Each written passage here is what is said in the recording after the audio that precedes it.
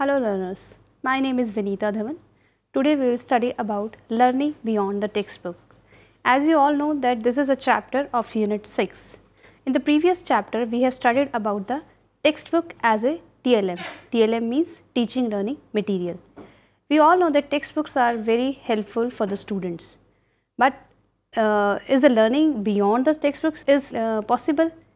The answer will be yes. But before going deep into this topic, first I will tell you what is the benefit of textbook for the students. This is some previous knowledge. How the textbooks are useful for students? We can say textbooks are the main source of teaching and learning. A lot of scope for students and teachers to do lot of learning activities means students and teacher can do lot of learning activities with the help of textbooks. Concepts in the textbooks are presented with variety of activities like story, picture, puzzles, discussion, etc. More innovative practice activities are given to do in the textbooks. Textbooks are detailed sequence of teaching procedures that tell you about what to do and when to do. A textbook series provides you with a balanced chronological presentation of information and the textbook provides organized units of work. This was all about the textbooks, how these are useful for students. Now, if we come to our topic, the topic is learning beyond the textbooks. If we say, is the learning possible beyond the textbooks? My answer will be yes. And why the learning is possible beyond the textbooks? It means we can say then that there will be some shortcomings for the textbooks or there will be some limitations of the textbook that is why the learning is possible beyond the textbooks. So, some shortcomings or uh, limitations we can say what can be these limitations of textbooks like first is all the curriculum experiences cannot be given within the limited space of textbook. Sometimes textbook promote the rote learning. The third we can say these are designed to be the sole source of information. The fourth limitation we can say they may not reflect student need as these are written for the global market. These are expensive and these are too inflexible and reflect the pedagogic, psychological and linguistic preferences and biases of author.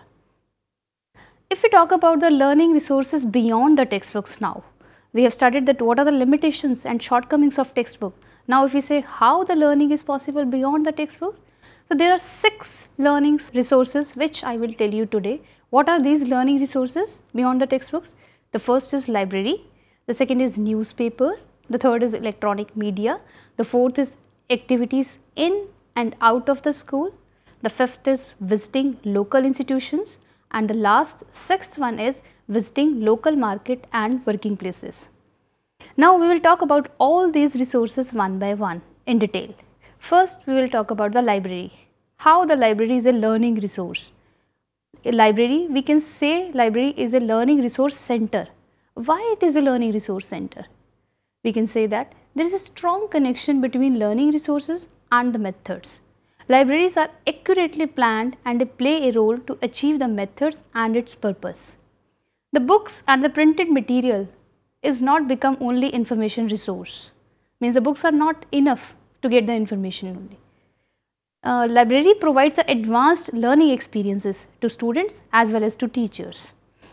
These centers or these resource center concentrate on amalgamation of resources, ICT with education practice inside the centers. Means we can say the library provides the amalgamation of various resources and ICT, ICT is information and communication technology is also provided inside these centers. The other reasons which can be library as a resource center, development of education theories, self-learning, learner as an axis of education process, teacher as a leader and facilitator of learning process. If we go in detail about these points, we can say that self-learning is possible when student is not having only one book, he have the lot of books and that is possible only in the library.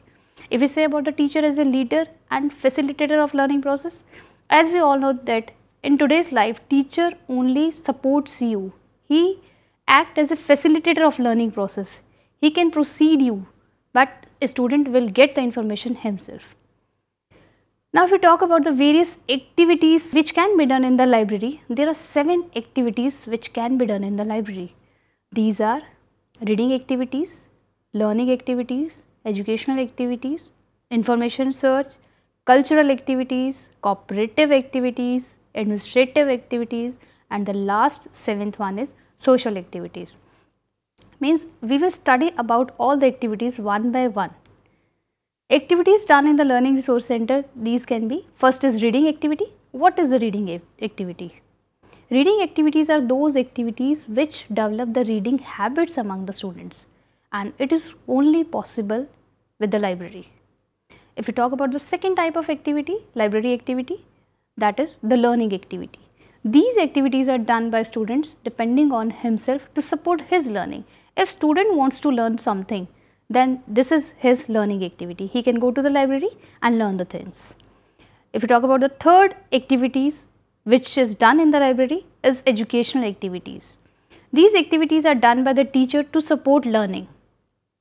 The fourth is information search. We can say in this the search on the internet and using references. The fifth is cultural activities. Somewhere cultural activities are also performed in the library means activities done by students to improve his cultural level and somewhat there can be school radio, seminars, lectures and competitions. The library is helpful in all these activities. Now the fifth is cooperative activities. What are these cooperative activities? These activities are done by students to help the center to achieve its aim as a center group. If we talk about the next activity that is the social activity, the aim is community service like anti-terror activity and anti-smoking activity. Means if you want to perform these kinds of activity which is giving the community service, we can paste uh, the posters around the library, then we can go for this community service. We can make the students aware about these activities. Now the next and the last is administrative activities. What are these administrative activities which can be done with the help of library? Activities occupy centers with waiting lessons, school meetings and educational coordinators meeting. Means we can occupy the centers with the school meetings. School meetings can be conducted there in the library. Educational coordinators meeting can be also conducted in the library. So these were the seven activities which can be done in the library. Now if we talk about the second learning resource, that was the first, library was the first learning resource. Now the newspaper, newspaper as a reading resource. How newspaper is a reading resource? We can say in this that children learn about the current happenings. We learn about the current happenings with the help of newspaper. Learning about the geography, social issues, history, sports, politics, money, technology, all these fields can be learned from the newspapers. Reading and learning new vocabulary. This can also be done with the help of newspaper. Newspaper are living textbooks for the teachers. We can encourage critical thinking of the students with the help of newspaper. We are talking here that newspaper as a reading resource. Use, used to teach various skills and ideas. Newspaper can be used to teach various skills and ideas to students. And the last we can say it expands the curriculum with unlimited amount of information. We can expand, a teacher can expand the curriculum with unlimited amount of information with the help of newspaper. Now, we have already talked about the activities done in the library. Now, for the newspaper, what activities we can perform with the help of newspaper that would be useful for the students. Now, there are six activities which you can perform with the help of newspaper. First is newspaper puzzle, second in my opinion, the third is caption action. The fourth is comic books. The fifth is headline scrabble. And the sixth last is take my advice. Now we will talk about all these activities in detail. First is newspaper puzzle. What is this newspaper puzzle? News in the newspaper puzzle what we do? We when we read the newspaper we find some event or some news very interesting. Then what you can do with that news? You can cut the paragraphs of that news into pieces and you can hand over these without caption you will cut the news and those paragraphs you will give to your children.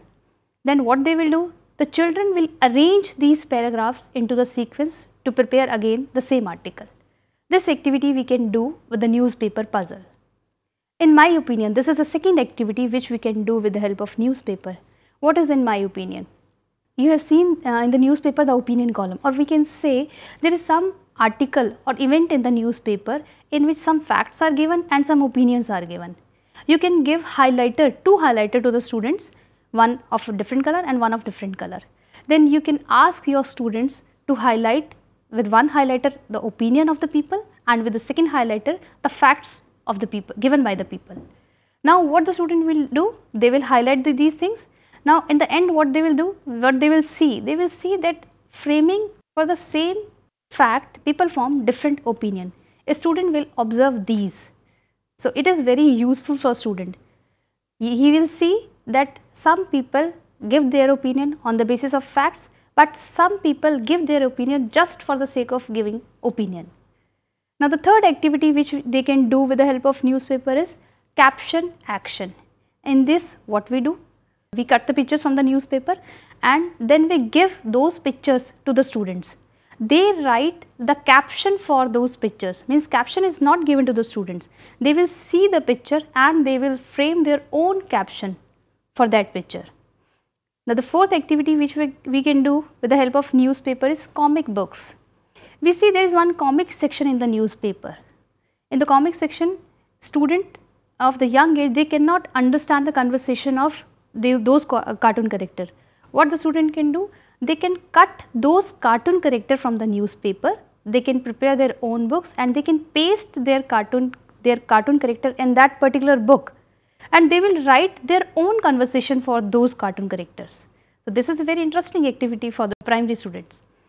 Now, if we go about the next activity which we can do with the help of newspaper that is the headline scrabble. What is that headline scrabble? As the name suggests headline scrabble. We will give the students the headline. Headline means we can give them words. They will cut the words of headline and they will cut the alphabets even alphabets from those headline. They can form new headline from those words and those alphabets. So, it is also a very interesting activity. Now, the last activity is take my advice. What we do in this activity? There is column, there is one column in the newspaper where some people give their problems and the advice is given to them. You can read that column with your children and you can ask your children that they can give their advice for that particular problem. So, it is also a very interesting activity for the students. So, these six types of activities we can do with the help of newspaper. Now, the third is electronic media. Now, how the electronic media is learning beyond the textbook is as a electronic media as a resource learning beyond the textbook. There are different types of electronic media. These are television, radio, internet, smartphones, CDs on various educational themes means five electronic medias we have. We learn or students learn with, this, with the help of these medias. We will discuss about these medias one by one. How the learning is possible with all these medias. If we talk about the first that is television as an electronic media, how this is helpful in education of students. You can say television is an audio visual media of communication. It offers a window to the outside world among all the mass media, television attracts the large number of viewers. It is the most popular and has the greatest potential. This is because it is able to attract the audience of all age group, literate and illiterate and all of the levels of the society. If we talk about the what are the objectives that can be achieved through the television, there can be some objectives which we can achieve with the help of the television. Social quality in education means it enhances the quality in education. Television brings the quality in education because it's an audio visual aid. Students understand the things better. It reduces the dependency on verbal teaching and teachers. Means we are not only dependent upon our teachers. So it reduces the dependency. We can see the television or educational programs on the television and we can learn the things. So there is no dependency on teachers. Now the fourth is it provides flexibility of time and space in learning. A student can learn according to his own time and space. So there is flexibility of time. But the teacher, he or she will teach in you in the classroom only. About the, if we say uh, the next objective, it stimulates learning. And the last is it provides the mass education opportunities. Really, it provides the mass education opportunities. Now, if we talk about the channels which are used for the purpose of education, these channels can be Discovery Kids as we all know, Discovery Science, History Channel, National Geography channels. These are channels which are used for the purpose of education or here we can say these are the channels which provide education plus entertainment that is called the edutainment. The word is edutainment which is provided by the television. So, this was all about the television, how we can learn the things from the television, how the learning is possible with the help of television. Now, if we talk about the next electronic media that is radio, how the radio is helpful in learning or how the radio is a learning resource. A radio is an electronic media that facilitates four things. First is quantitative expansion and qualitative improvement of education. The second is fostering the sense of national integration and international understanding. The third is entertainment and the fourth is vocational education. We will talk about all these points one by one. The first is quantitative expansion and qualitative improvement of education. How the radio provides the quantitative expansion. In this we can say in our country there are some areas where the education is inaccessible means the disadvantaged children they can get the education with the help of radio. If we talk about the qualitative improvement of education, as we all know that the traditional methods or formal methods are now outdated. Something new should be there, some standard should be there. If we talk about the alternative medias there, then we can talk about the radio. It brings a qualitative improvement in education. If we talk about the second, that is a fostering the sense of national integration and international understanding, the radio foster the sense of unity and integrity among the people. How it is possible? On the radio, various debates and talk shows etc. and cultural programs are broadcast. There students learn about the culture and customs of different people. So, it develop the sense of unity and understanding of the other people. Now, if we talk about the third that is entertainment, how radio is a media for entertainment. In this we can say radio is a means of entertainment. We can listen songs, songs, folk songs etc. and other cultural programs on the radio. And sometimes radio also tell you about your hobbies, what hobbies you can do in your leisure time. Now the fourth point is vocational education. The radio can provide you the vocational education. Vocational education means the students come to know about the self-employment courses, and uh, lectures by skilled people. They can also listen the lectures by the skilled people. So, all this is about the vocational education. So, radio is very helpful in providing the vocational education to the students. Now, the fourth one is internet. If we talk about the internet, the role, what is the role of internet in educational process? First, we will talk about it. Internet is a medium which made the world a global village. Around the world, students are being globally connected with one another via internet. We have been seen that large number of people depend on the internet to collect information, read news, play games and also for searching, process and business work. There are some activities which we can do with the help of internet. Earlier we have studied about the library activities, the newspaper activities. Now there are the activities which we can do with the help of internet. These activities can be enhanced lesson, study and research, communication, accessibility, social networking, online learning, shopping, information, streaming videos, blogs, email etc. If we talk about one by one about these activities, then we can say that enhanced lesson with the help of internet we can get lot and lot of information for our lessons. In the textbook we will get only one lesson and limited text but with the help of internet we can enrich our lesson.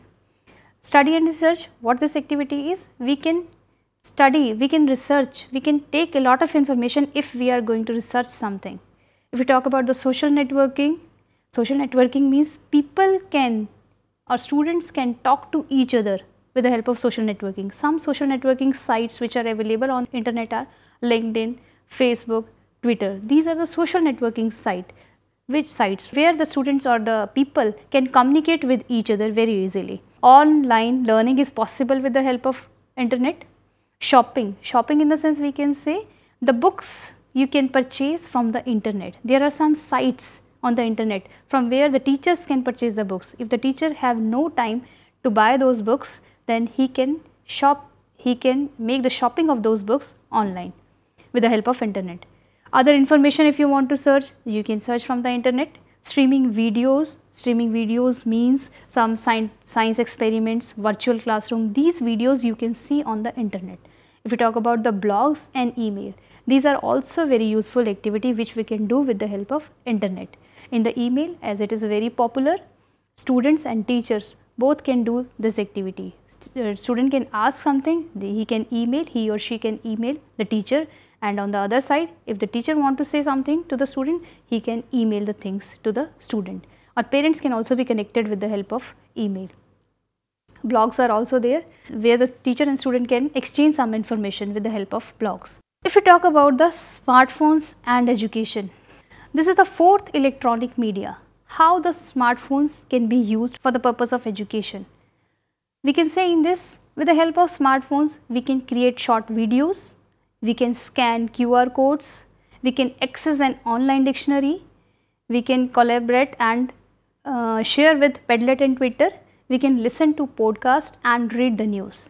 If we talk about these we can say the students with the help of smartphones they can create their short videos. They can get their feedback themselves. If, if we prepare one video of ourselves then we can get some feedback that how we are performing the things. In this way uh, we can create the short videos. If we talk about the scan QR codes these QR codes are those with the help of which we can access the information very easily about any news or any event access online dictionary smartphones helps to access online dictionary. If the student know how to, uh, if a student know how to use the app of dictionary, how to use the app of dictionary on the smartphone, then you can see that his knowledge will be wonderful if he, he use the dictionary online. If we talk about the collaborate and share with Padlet and Twitter, here also he can get various information from the Twitter and Padlet and if we talk about the listen to podcast and read the news, this is for those children who want to learn outside the class. Now, if we talk about the fifth electronic media that is the educational CDs as a learning resource.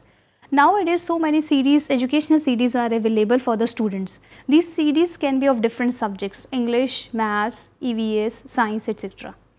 How these are the learning resource? It aims to support students through various learning activities students are able to explore and learn in an authentic environment means it supports the students through various learning activities. Various learning activities are given in those CDs and students are able to explore and learn the authentic environment. They see the authentic environment in those CDs. They can construct knowledge and skills. Student after seeing that CD they can construct their own knowledge. At the same time it arouses their curiosity towards the natural world. CDs, when the students see the CD, it arouses their interest and they feel themselves in the natural world. CDs provide the overall good experience to the students. In CDs, there is given graphical presentation and illustration. The student can enjoy those graphical presentation and illustration. Practice session, practice session is also given. Practice session using the tool can enhance their knowledge on various topics. If we talk about the other things, uh, other learning resources we can do activities in and out of the school. There are some activities which a student can do in and out of the school as a learning resource. Observing different in this what we can include observing different objects and phenomena, planning and raising school garden, maintaining clean toilets and toilet habits, cleaning and beautification of classroom and school, arranging different cultural functions, visiting local market and working places. This can also be a learning resource beyond the textbooks if we say Beyond the textbook we can say children can visit the different working places like farms, blacksmith, woodwork, poultry, fishery. In this what will happen? The student will feel the real life experiences, how these people work there. So, visiting to the local market and working places. Now, the last is visiting local institutions, how the learning is possible with the help of lo visiting local institutions.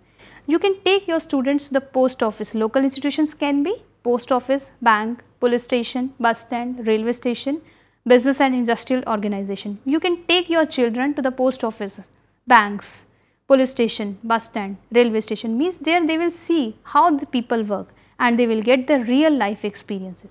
So, this was all about the learning beyond the textbooks. Thank you.